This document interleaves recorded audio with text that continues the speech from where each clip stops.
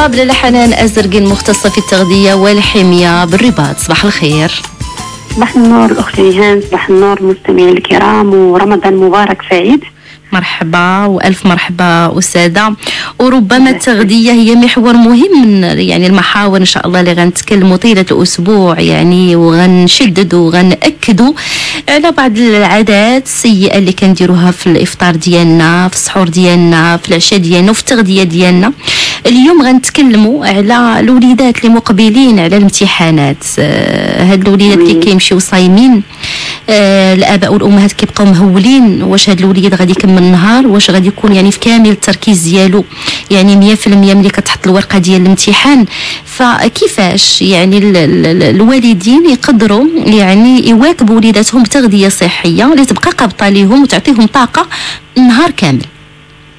دونك كما قلتي الأخت جيهان حنا في هذه الوقيتة هذه هي واحد الوقيتة ديال الامتحانات وحنا في الذروه ديال الامتحانات. نعم. يعني هنايا كيكون واحد الإجهاد اللي هو جسدي وكذلك ذهني بزاف ديال الطلبه يعني كيطلب منهم كيفقد كيؤدي انهم يفقدوا بزاف مجموعة من الأملاح المعدنيه نعم. وكذلك الفيتامينات. نعم. داكشي علاش حنا شنو خصنا نديرو؟ ماشي فقط نتسناو حتى الوقيته ديال الامتحان تيبقى ثلاث أيام ولا يومين عاد كنوجدوا راسنا. هنا هذا هو الغلط الكبير اللي كيبقى يديروا بزاف ديال آه، التلاميذ ولا الطلبة. normalement كتوجد التغذية ديالهم مدة طويلة. مثلا حنا عندنا امتحانات باقي لهم 3 سنين ثلاث سيمانات ولا شهر. نعم. من هنا كيبدا توجد normalement ديال التغذيه ديالنا. بحال كنجهزوا الجسم ديالنا باش انه يقدر يتحمل لنا هذا المجهود العضلي اللي هو المجهود الجسدي اللي هو اللي هو كبير بزاف. d'accord donc حنا puisque حنا فترة رمضان. كما كنعرفوا فترة رمضان كيكون الصيام طيلة اليوم. يعني الجسم ما كنعطيو ما كيمدوش من المواد الغذائيه اللي كيحتاج لها النهار كامل. نعم. و surtout حنا في الأيام الأولى. يعني الجسم ما كيكونش متعود على الصيام. الشيء اللي كيؤدي أن كيكون واحد شي واحد العياء في اليوم آه، كذلك العطش كيكون واحد الخمول شوية ديال الإيقاع كيكون بطيء إيقاع الجسم. نعم. donc حنا حنا هنايا ماشي فقط نهضروا على التغذية. نعم. ثلاثة ديال الحوايج اللي هما مهمين جدا واللي كيساعدوا على أن هاد الطلبة يركزوا بزاف في الامتحانات ديالهم وتكون عندهم واحد آه، قوة الاستيعاب اللي هي كبيرة. نعم. اولا التغذية. ثاني حاجة النوم وثالث حاجة الرياضة. ثلاثة الحوايج. ثلاثة ديال الحوايج اللي هما مهمين جدا. حيت من بين الأغلاط اللي كيرتكبوها الطلبة هما أنهم كيقولوا أنا ما غاديش نضيع الوقت غادي ندير نحفظ. وها كيجي واحد العياء واحد لا فاتيك أنه ما قادرش مثلا يستوعب داكشي اللي كيحفظه نعم. كيبقى مزير راسو كيبقى كيحفظ. توتر حتى داك. التوتر يعني كيلعب على كبير. النفسية. هذا نعم. غلط كبير. نعم. une fois كيجينا واحد العياء ضروري يعني العقل ما بقاش قادر على داك الإجهاد. خصو ضروري يرتاح. نعم. d'accord. نعم. هذه نقطة اللي هي مهمة جدا. نعم، نعم. وخص عدد ساعاتنا وحنا في رمضان ما يمكنش أنا نقول ساعتنا وثمانية سوايع في الليل. راه لأن الليل قصير جدا وكيجي الفجر والى إلى غير ذلك. يعني الشخص ما يقدرش أنه ينعس ثمانية ديال السوايع اللي هي كاملة. ولكن إلا كان كيحفظ في اليوم في اليوم في النهار نعم. يجي الناس؟ ينعس نعم.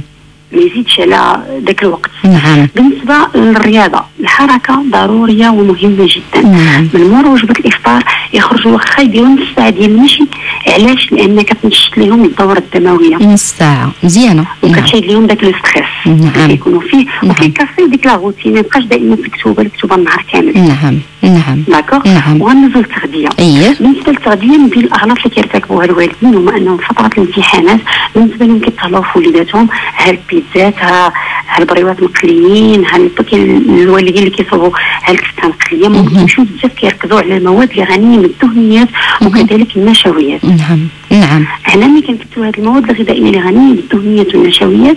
الهضم ديالهم كيكون كياخذ واحد الوقت اللي هو طويل جدا الشيء اللي كيؤدي أنهم كيبقاونا في المعدة واحد الوقت اللي هو كبير وكيؤدي إلى الخمول. نعم. في بلاصتنا أننا كنساعدوا الأطفال ديالنا ولا الطلبة ديالنا كنصدقوا أننا كنديروا واحد الخمول اللي هو كبير جدا. مهم. وما كما كنعرفوا بأن المائدة الرمضانية surtout ديال المغاربة كتكون غنية بالسعرات الحرارية ومواد و surtout مواد اللي هي غير صحية. نعم. ما نعم فيهاش الفيتامينات والأملاح المعدنيه اللي قلت في البداية إننا ملي كيكون التركيز بزاف كنفقدوا بزاف ديال هذه المواد الغذائية نعم نعم حاجة. كيف ما كنجيبوهمش في الماكلة ديالنا. كنجيبوا فقط دهون وسكريات نعم. غير. حرارية. نعم. كيفطر الطالب كيلقى راسو ما قادرش أنه يحفظ نعم يلقى راسو انه ما قادرش يحفظ نعم. هنا شنو كنصحوا الأمهات نعم. كنصحوا الأمهات في التحضير ديال الوجبات ديال الأطفال ديالهم شنو كيديروا. خصهم يوجدوا لهم غذاء يكون غني بالخضار والفواكه نعم الخضار والفواكه. عليها علاش؟ لأن كتجيب لنا كميات هائلة من الاملاح المعدنيه نعم. وبالنسبة للفواكه كتجيب لنا كميات هائلة من الفيتامين سي. لأن الفواكه كاملة كيف ما بغات تكون كتجيب لنا الفيتامين سي. نعم. هي الكمية كتختلف. نعم. الحوامض كيكون كمية الفيتامين سي كتكون عالية. نعم. نعم. d'accord. donc هنا كيركزوا كذلك على الحليب ومشتقاته. مهم. مهم جدا. نعم. علاش مهم؟ لأننا ملي كنركزوا بزاف كنقصوا كميات كثيرة من الكالسيوم في الجسم ديالنا وكذلك البوتاسيوم والمغنيسيوم نعم. الكالسيوم فين كنجيبوه؟ كنجيبوه في الحليب ومشتقاته. وعلاش هنا كنركز كذلك على الحليب؟ حيت. كاين بعض الطلبه شنو كيديروا؟ كيلتجئوا للمنشطات. نعم. بحالاش بحال الكافيين القهوه. كيقول لك واش أنا انني نسهر راه ناخذ القهوة. نعم. وملي كناخذوا القهوة راه كنجيبوا معاها الكافيين. كاين اللي نعم كيدير بريق ديال القهوة كيبقى كيحفظ وكيشرب فيه. اييه وحنا الجسم ديالنا ما خصناش نفوتي ليه 300 ملغ ديال الكافي في النهار ديال نعم. الكافيين في النهار. نعم. حنا une tasse de café. كتجيب لنا 800 ملغ ديال الكافي ديال الكافيين. نعم. والكافيين كما كنعرفوا كتسرع دقات القلب. قلب نعم كتزيد توتر. نعم. القلب يعني هنا الط- الطالب ما كيبقاش يقدر يركز. نعم. لأن السرعة الدموية كتكون منشطه أكثر من القياس. كيولي مطالعين نعم. نعم. نعم. نعم. يعني ما كيقدرش يركز. نعم. كاين حاجة واحدة أخرى المشروبات الغازية. هي كيشربوها لنا الناس بزاف في رمضان surtout حنا في الحرارة وفصل الصيف. يعني كياخذوا المشروبات الغازية بكميات اللي هي هائله وكتجيب لنا كذلك هي الكافيين. حتى هي. هي كتجيب لنا الكافيين نعم. داكشي علاش هي منشطة نعم نعم d'accord نعم. وكاين عاوتاني دوك المشروبات الطاقية إيه. يشربوهم كذلك الطلبه في إيه. فتره الامتحانات هادو كاملين كيرجعوا لنا بالسلب على اننا على أننا كناخذ منهم النتيجة اللي هي صحية مهم. كيعطيونا فقط النتائج اللي هي سلبية. دونك بلاص ما ناخذوا هذه المشروبات الغازية نميلوا ولا من الكافيين ولا القهوة ولا حتى الشاي بكميات اللي هي كثيرة نعم. ندوزوا ناخذوا الحليب ومشتقاته الحليب ومشتقاته آه. الحليب ومشتقاته نعم كاين كذلك الفواكه الجافة. الفواكه الجافة مهمة جدا لأنها كتجيب لنا مجموعة هائلة من الأملاح المعدنية مهم. خصوصا البوتاسيوم وخصوصا المغنيسيوم واخا وحنا كما معروف جدا بأن المغنيسيوم مهم. كيساعد على ارتخاء العضلات. وكذلك البوتاسيوم. كنعرفوا بأن فترة الامتحانات كيكون الطالب آه، في واحد التوتر واحد نعم. خايف من الامتحانات نعم. كيكون وكيكون معصب نعم نعم خايف نعم. إلى غير ذلك نعم. حنا شنو كنديروا؟ كنعطيوه الفواكه الجافة اللي كتساعدوا على الارتخاء. ارتخاء تماما.